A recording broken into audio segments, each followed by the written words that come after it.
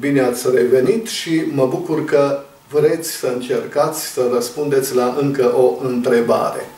Să vedem întâi întrebarea la care trebuie să răspund eu azi. Așa cum vedeți în desen, avem o eprubetă întoarsă cu gura în jos și scufundată parțial în apă. Ea nu este plină cu apă, nici n-ar pluti dacă ar fi plină cu apă, ci conține un anumit volum de aer. În poziția pe care o vedeți, eprubeta este în echilibru. Și întrebarea este următoarea. Ce se întâmplă dacă presiunea atmosferică scade? Și vă rog să alegeți unul din cele trei răspunsuri pe care vi le ofer. 1. Eprubeta coboară, intră mai adânc în apă pentru a-și păstra echilibrul. 2. Eprubeta se ridică, adică iese mai mult din apă pentru a-și păstra echilibrul. Și 3. Nu se întâmplă nimic. Eprubeta rămâne în aceeași poziție.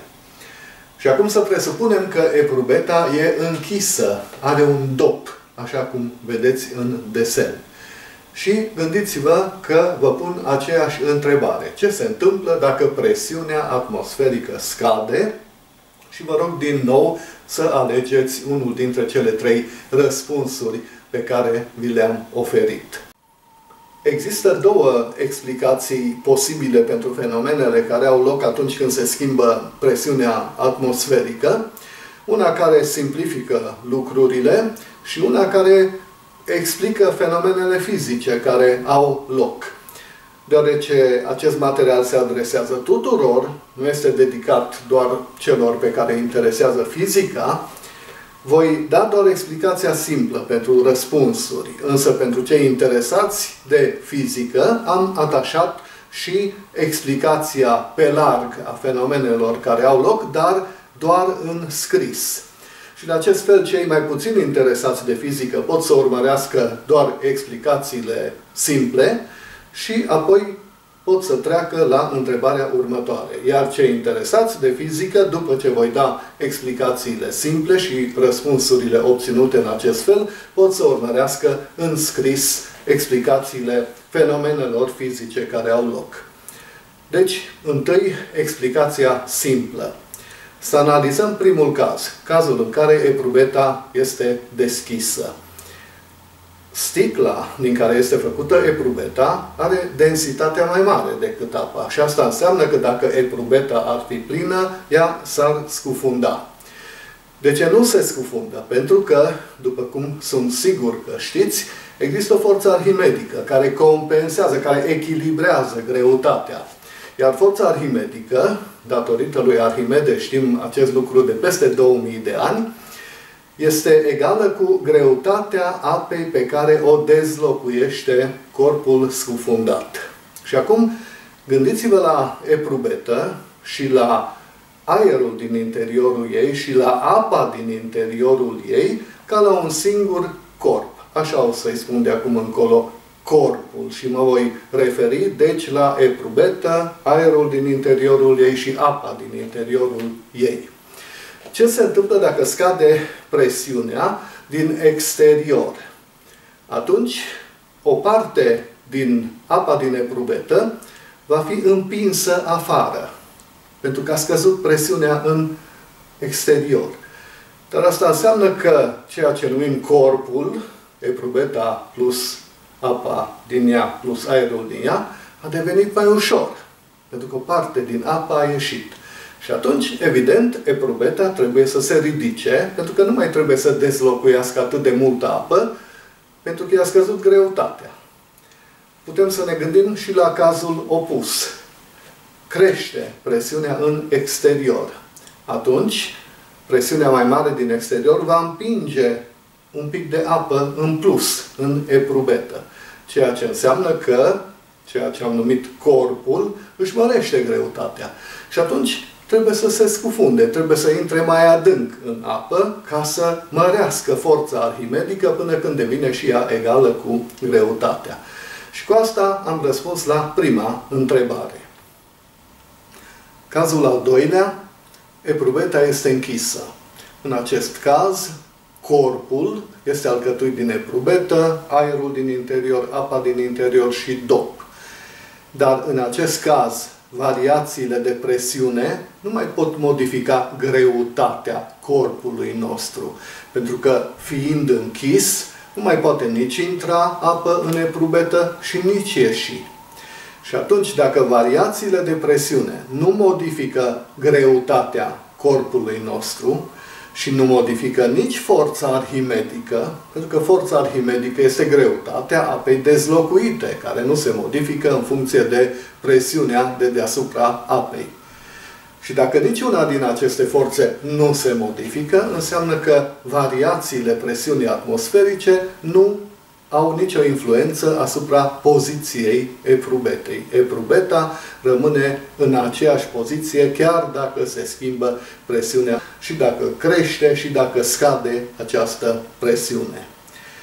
În concluzie, în primul caz, când eprubeta este deschisă, dacă scade presiunea atmosferică, eprubeta se ridică un pic.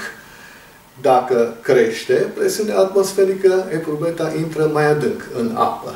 Iar în cazul al doilea, eprubeta este închisă, nu se întâmplă nimic. Variațiile presiunii atmosferice nu modifică poziția eprubetei. Am primit ambele răspunsuri corecte de la Dumitru Antonie și am mai primit câte un răspuns corect de la Daniela Carmen Băluță și uh, Gabriela Băbeanu.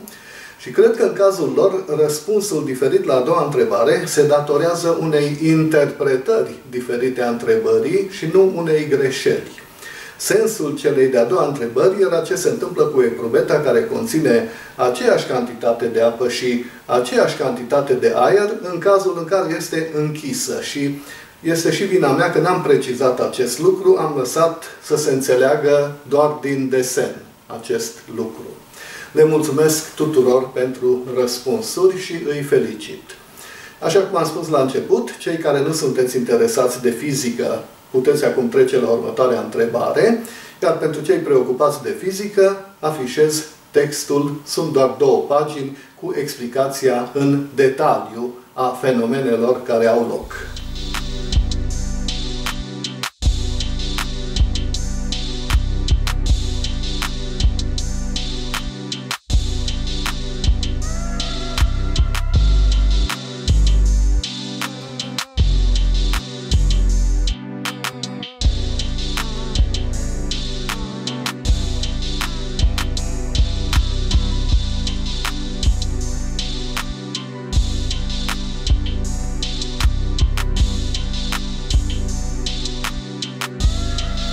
Întrebarea de azi nu are legătură cu fizica, nu are legătură directă, pentru că, într-un fel, totul are legătură cu fizica. Imaginați-vă o suprafață mare de apă pe care se găsesc multe, multe insule mici. Sau, altfel spus, un mare arhipelag care conține multe, multe insule mici, distribuite absolut aleatoriu, cam așa cum vedeți în acest desen. Este foarte important să rețineți că nu există mai multe insule între care avem aceeași distanță. Deci toate distanțele dintre insule sunt diferite. Nu există nicio insulă care să fie la egală distanță de mai multe insule. Pe fiecare insulă se găsește o barcă, una singură. Și într-o zi, toate bărcile pleacă, deplasându-se, navigând fiecare barcă spre insula cea mai apropiată de insula de la care au plecat. Deci bărcile se mută toate de pe insula lor pe insula cea mai apropiată insulei lor. Dau câteva exemple ca să fiu sigur că am fost bine înțeles.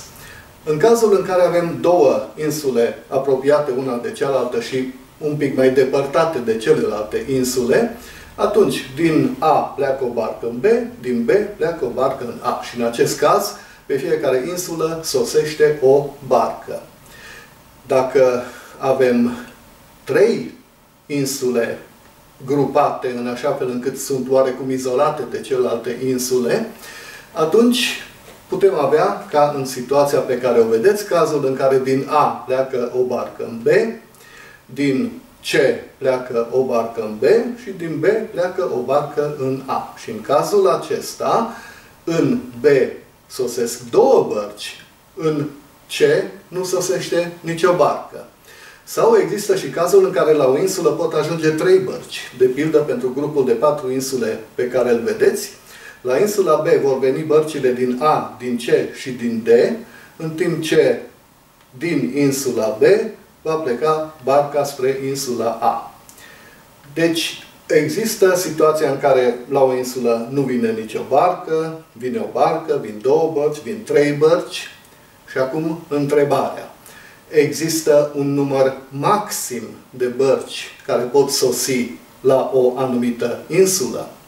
Dacă credeți că nu, vă rog să explicați de ce nu.